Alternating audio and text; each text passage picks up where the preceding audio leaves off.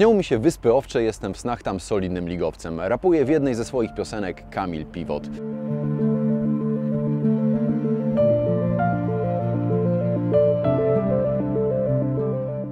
Indam w cyklu Futbol na peryferiach śniło się i marzyło, by pokazać Wam najrzadziej odwiedzany przez turystów zakątek Europy. Miejsce, które zamieszkuje więcej owiec niż ludzi. Miejsce, w którym piłka nożna traktowana jest jak religia. To the Faroe Islands!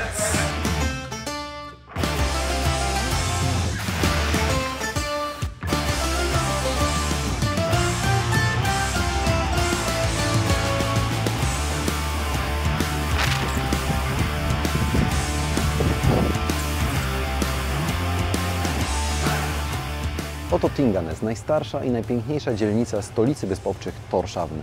To tu zapadały najważniejsze decyzje polityczne, to tu spotykali się ludzie, którym na sercu leżało dobro wyspowczych, kraju, którego historia bezsprzecznie powiązana jest z Danią.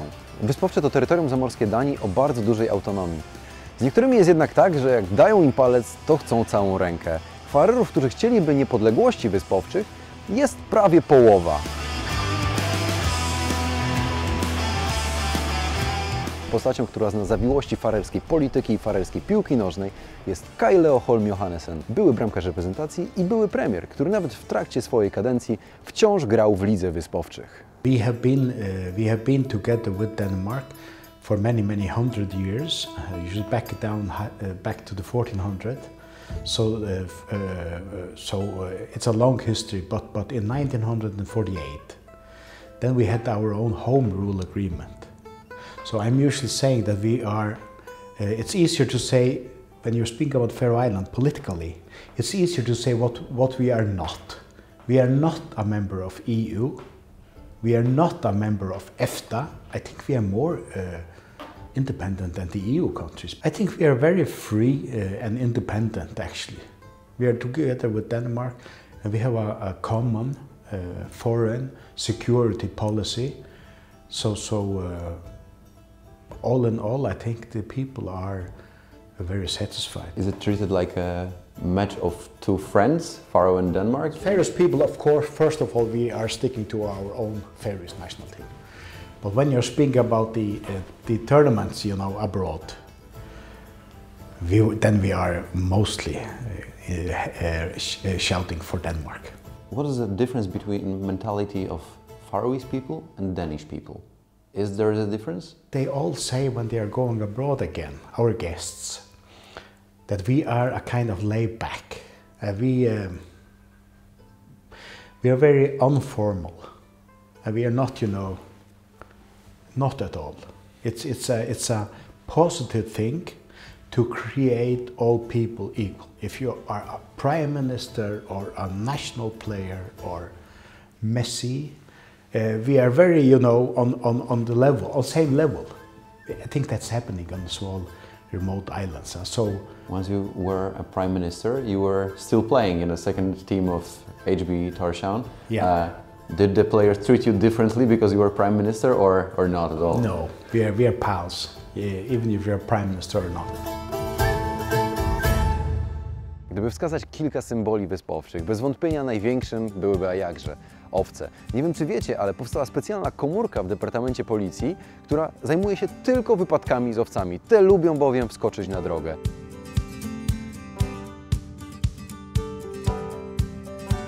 Kolejną rzeczą, która rzuca się w oczy, są trawiaste dachy. Jeszcze innym symbolem są maskonury na wyspie Mycines. Jest też jednak jeden piłkarski artefakt, który zna cały świat. To wełniana czapka z pomponem. Nosił ją bramkarz reprezentacji Wysp Owczych Jens Martin Knudsen, bohater pierwszego historycznego triumfu nad reprezentacją Austrii. Na co dzień jeździł wózkiem widłowym. Piłka była dla niego tylko dodatkiem, który uczynił go znanym. Jens Martin Knudsen dziś jest właścicielem przetwórni Dorszy. Pracują u niego Polacy. On sam bronił we wszystkich meczach Farerów z biało-czerwonymi, z którymi wpuścił 9 goli. Kaczorowski pędzi w kierunku pola karnego, oddaje piłkę i 1 do 0. Dobra akcja prawą stroną Żurawski. Trudna sytuacja, strzela na 2 do 0 Paweł Kryszałowicz. Tak jest. I Knudsen, który ma kłopoty z utrzymaniem piłki, jest śliska. Knudsen. czyste konto w swej słynnej czapce zachował z Austrią w meczu, który sprawił, że Farerzy pokochali futbol. Been almost 31 years from this game.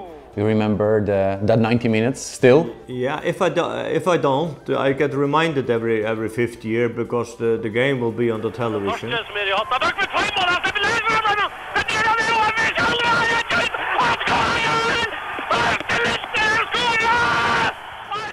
The 12th of September and everything uh, is like that. We, we, we, we get reminded of it uh, all the time. Still, I know every detail, so, so uh, that's how it is. There were more than half of the people that thought it was totally wrong to go on the international scene. It went well today. Everyone is agreed that, of course, we should be uh, on this international scene. The symbol of this victory is your famous hat cap. That's right. Uh, what, why, why have you uh, wore that? Yeah. The, the story about it is that I got the injury, uh, 13, 14 years old, I got kicked and so on, and I went to intensive care for 14 days. And uh, uh, uh, at that time, there in the, this, in NSU Runavik, there were only one goalkeeper uh, in my age, that was myself. Then I have to play as soon as possible. And uh, you can't and thi- this time the, the, the you couldn't play with a helmet, as Czech do now and so on. So uh, to please my, my doctor and my, my uh, mother, I, I put a, a hat on just just uh, as a shelter. But uh, yeah, I, I can remember that when we, we were driving with the bus to to to this uh, game against Austria. Everyone has predicted that we will lose by, by uh, between 5 and 10 nil or something like that. And uh, I have my doubts, or I, I was thinking about it, I can remember uh, if I should uh, wear it or, or, or not. And um because I could be the biggest clown in Europe, huh? lose 10 nil uh, there with, uh, with, with the bubble hat. So uh, luckily, I wear it. That was good.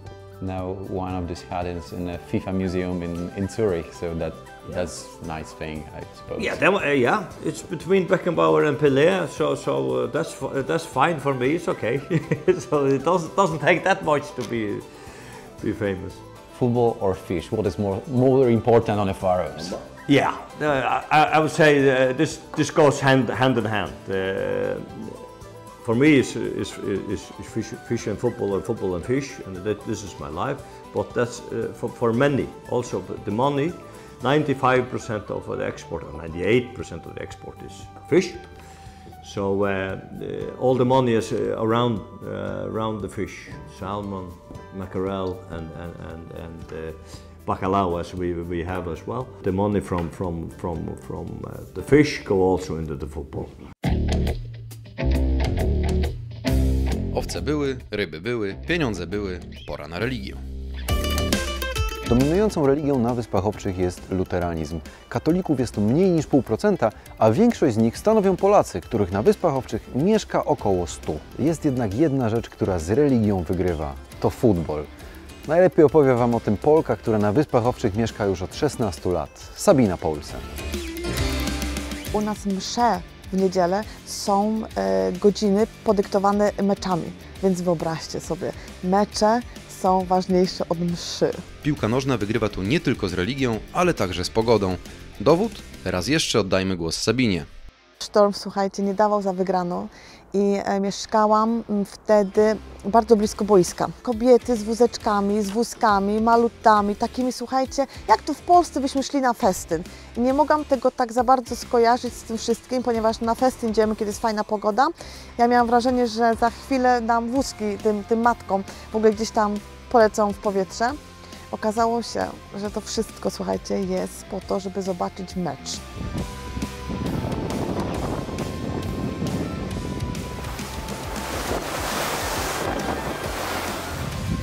Skoro nawet rzeźbą potrafi być zimno, wyobraźcie sobie, jaka pogoda dominuje na Wyspach Owczych.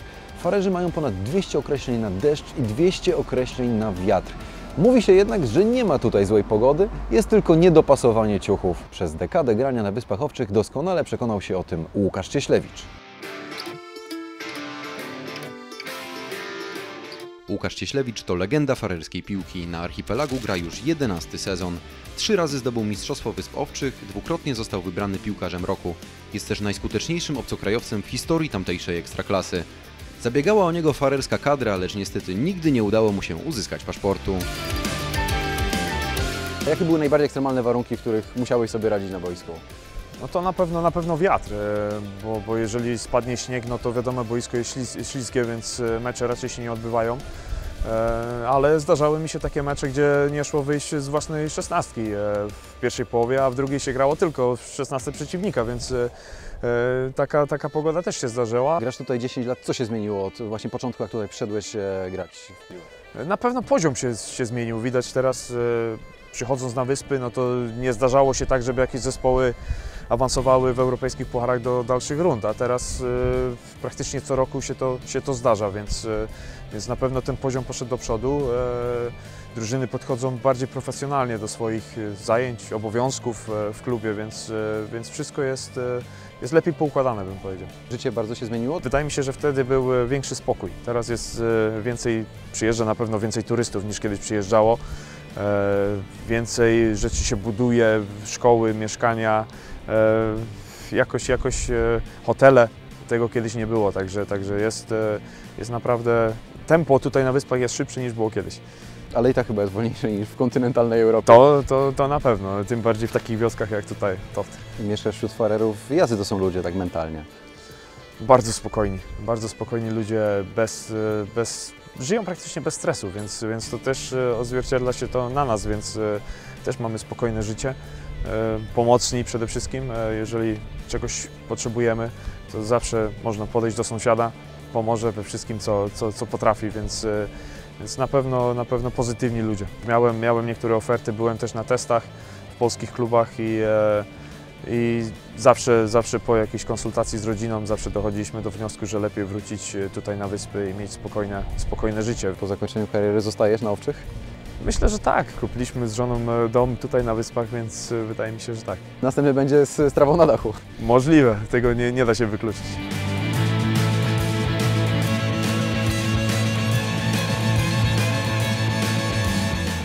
To, co od razu rzuca się w oczy po przyleceniu na Wyspy Owcze, to stadiony. Stadiony, które są wszędzie. Niemal każda miejscowość, nawet najmniejsza osada ma swoje boisko do gry w piłkę. Niektóre z nich, jak choćby stadion w Aie, słynęły z tego, że można było stracić tam naprawdę wiele piłek.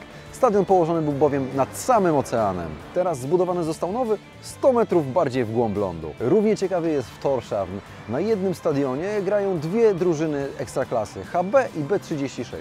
I każda z nich ma swoją trybunę, na którą kibic przeciwnej drużyny wejść nie może. Tak się składa, że akurat na tym obiekcie swoje mecze rozgrywa piłkarz, który jest najskuteczniejszym Polakiem w eliminacjach europejskich pucharów w sezonie 2021-22.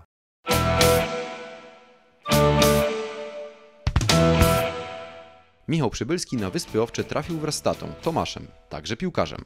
Obaj zostali na stałe. HB Torshavn jest już piątym klubem Michała na archipelagu. Jego dobra gra na dalekim lądzie nie pozostała niezauważona w Polsce. Kilka lat temu zagrał nawet dla biało-czerwonej kadry do lat 20.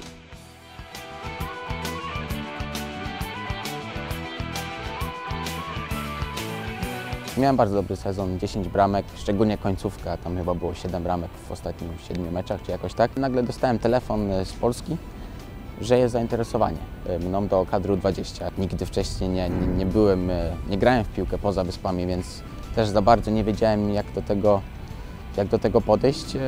Wiadomo, bardzo fajne przeżycie. Spotkałem paru fajnych tam chłopaków, jest, jest Jóźwiak też wiadomo, Drągowski, paru, paru tam zawodników, którzy robią teraz fajną karierę. Przybylski ma za sobą także epizod w polskich rozgrywkach. Przez pół roku reprezentował Widzę Łódź. Wrócił jednak na Wyspy Owcze i nie narzeka. Po, po tym meczu w kadrze U20 e, było parę zapytań o mnie. E, Wiadomo, jak to jest, dużo menadżerów się zbiera, każdy ma swoje oferty i, i, i tak, e, tak szukałem. Patrzyłem na te wszystkie, wszystkie oferty i tak mi się dało, że, że Widzew może być fajnym krokiem. Widzew jako kibice, jako klub, jako, jako historia i też jako, jako trener Smuda.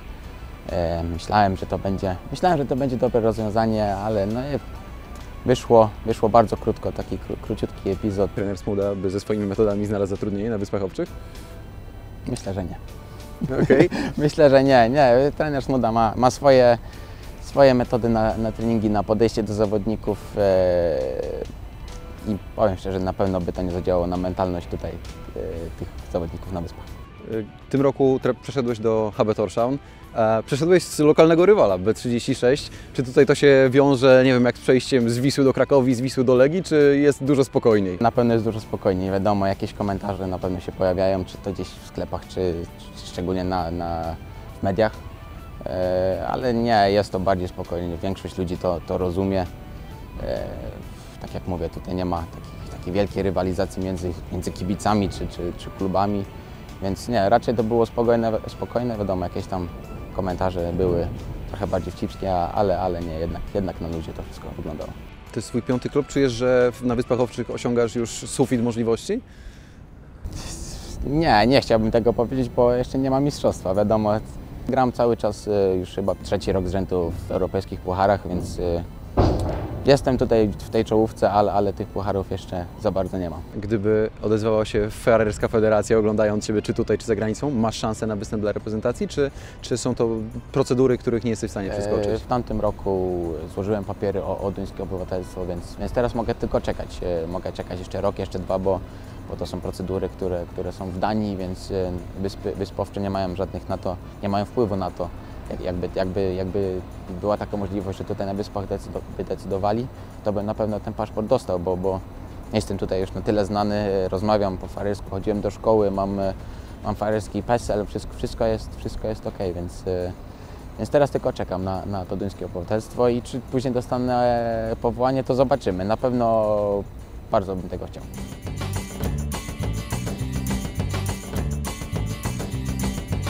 Kadra jeszcze bez Michała Przybylskiego przygotowywała się do trzech meczów eliminacyjnych, wszystkich u siebie.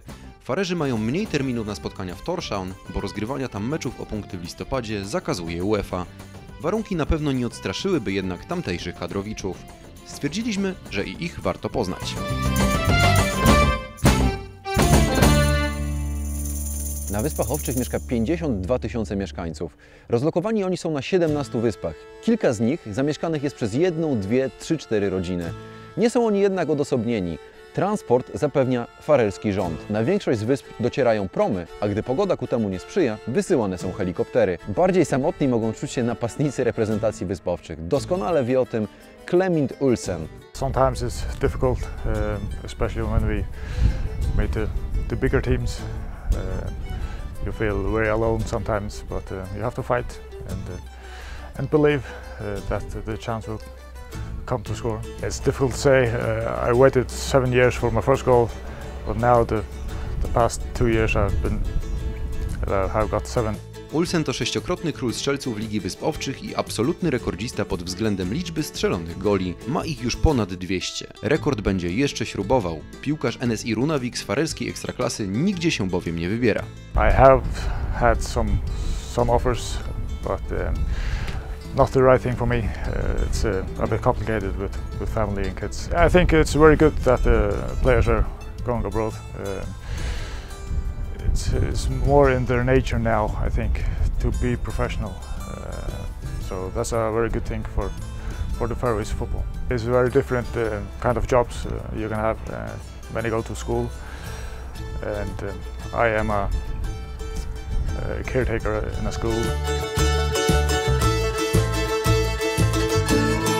Skansin to największy fort obronny na Wyspach Owczych. Nie jest on zbyt duży, przez co w przypadku gdyby Wyspy Owcze zostały zaatakowane, naprawdę trudno byłoby się obronić. Podobne problemy ma reprezentacja Wysp Owczych, gdy tutaj na stadion w Torshavn zawita naprawdę porządna reprezentacja. Nic więc dziwnego, że najbardziej znanym piłkarzem reprezentacji Wysp Owczych jest bramkarz Gunnar Nielsen, pierwszy farerczyk, który zagrał w Premier League. Całe 17 minut. People in the Faroe Islands, the, the Faroe Islands follow the Premier League a lot. You know, everybody in the Faroes, I think, has a team in the English Premier League and um, and you know, watch it on television and everything. Once you played for Manchester City, there becomes much more fans of that team on the Faroes. Well, I don't know. It's a bit difficult with Manchester City because so many people in the Faroes support Manchester United. So I think maybe they supported me for those for those games and when I was there, maybe. But I don't think it changes. You know, it's it, there's a lot of Man U fans here in the Faroe Islands. As you played uh, for Manchester City in this game in the Premier League, you get a lot of congratulations from, from the people here. Yeah, I mean, it was that was a crazy time. Uh, you know, I remember just after the game, you know, my phone it just you know, it just it kept saying incoming text and uh, phone calls. Uh, my it just broke down for a, for a while there. There was so many people who wanted to congratulate me and. And I spoke to my friends, and people sent me videos while they were, you know, where they were watching it, and, and where people were watching it. And you know, it was I think it was Saturday night, and people were out in town, and you know, I just heard from people everything everybody, everybody was speaking about was that that I came on against against Arsenal. So so, I mean, of course, it was a big thing, you know, not just for me, but also for the Faroese people because you know we follow the Premier League so much, and and to be the first guy, Faroese guy to play in Premier League was a big thing for for them and also for me. Once you enter into a National Stadium full of uh, with full crowd, how many faces did you do you know uh, on the stands?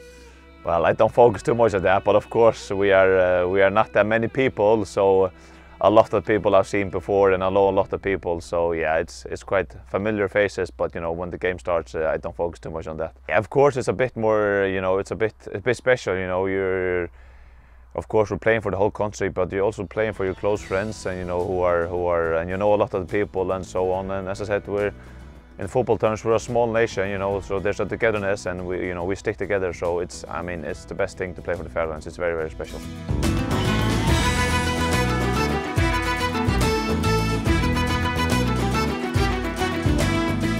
Wyjątkowy w meczu Farerów z Izraelem był Eran Zahawi. Nawet bramkarz z przeszłością w Premier League nie miał szans sprostać liderowi Izraela. Jeżeli traci się takie gole, zawodnikom trudno się nie podłamać. Izrael pokonał Wyspy Owcze 4 do 0. Kibice zupełnie nie byli tym zrażeni. Prawdziwe piłkarskie święto miało jednak dopiero nadejść. Na ten dzień czekali wszyscy farerzy. Po raz pierwszy w historii Wyspy Owcze podejmą u siebie w meczu o stawkę reprezentację Danii. Niby traktowane jest to jako mecz przyjaźni, ale mały brat naprawdę chciałby dokopać większemu. Stadion Tersvolur zapełni się do ostatniego krzesełka. Oznacza to, że na trybunach pojawi się więcej niż 10% mieszkańców Wysp Owczych, a ci naprawdę potrafią kibicować. Najbardziej zagorzali z kibiców Skansin zasiądą za bramką i przekonacie się, że to prawdziwi futbolowi fanatycy.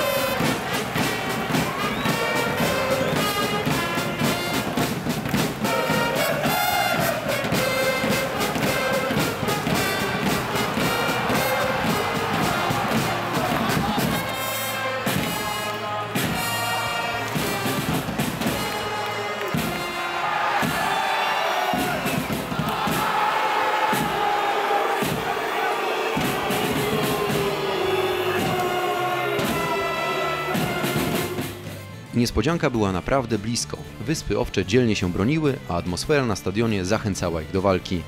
Po ich stronie było też trochę szczęścia i war.